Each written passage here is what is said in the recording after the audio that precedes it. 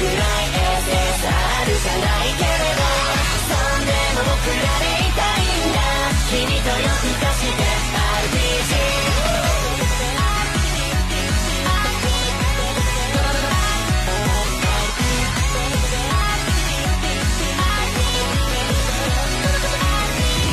いいですか？皆さんチームよ。了解。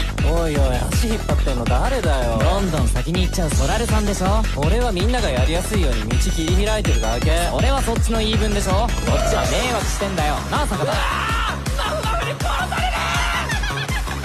全員死なああ俺まで。バクバクお前だけは許さない